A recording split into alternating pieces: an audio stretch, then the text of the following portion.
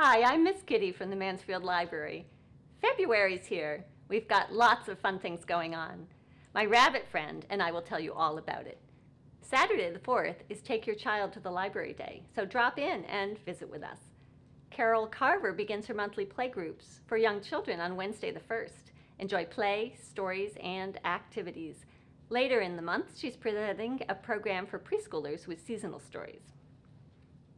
Up, Bonnie's telling me about the two holidays coming up. We'll be doing crafts after school on Thursday the 2nd, so we're going to make dragons and groundhogs. Try our Lego challenge after school on the 9th. Make something cool with our Legos, and we'll display it at the library. Please call or check our online calendar for dates and times for all of our programs. Oh, something else I'm forgetting. Bunny says to remind me that we're participating in the Boston Bruins PJ Drive again this year. Bring in new pajamas for children in need anytime in February and through the beginning of March. Thanks for thinking of others, and I can't wait to see you at the library.